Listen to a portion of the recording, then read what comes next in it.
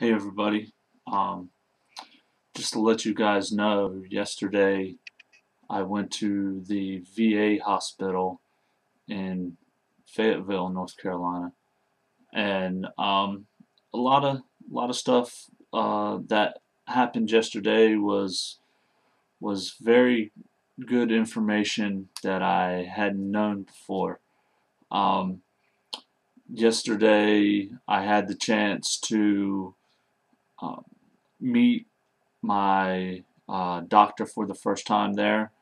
Uh, he did a, a uh, really good um, sit down questionnaire type um, situation. Uh, he wanted to know a lot more about me.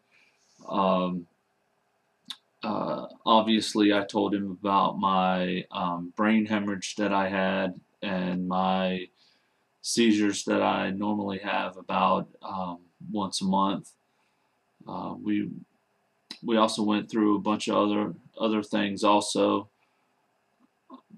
but the um, good thing was is that he he set me up with an appointment with the neurology um, there at the VA, and uh, tomorrow I'll be going back down to Fayetteville to um, see the doctor there. So hopefully I'll be able to get some good information um, how they can help me in reference to that.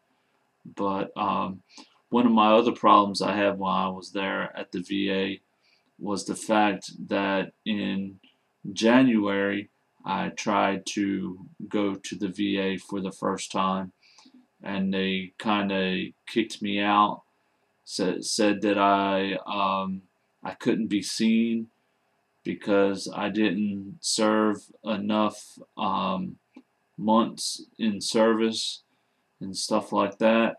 Which me and my dad we we were kind of surprised and um, because I had um, two years ago I had went and I'd gotten a um, a ID card for the VA and even though I haven't used it yet, I tried to tell the people in January that um, I I had became a member.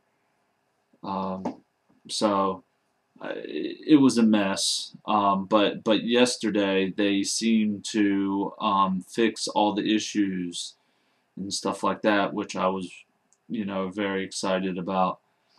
Um, so the good thing is is that tomorrow I will be seeing uh, the neurology or neurologist there. Um, hopefully they can help me with my medication. The only problem is is that they only um, give the generic medications instead of the brand. Um, that's going to be an issue of mine. Maybe they can help me with uh, one of my main um, pills that I take, which is Vimpat.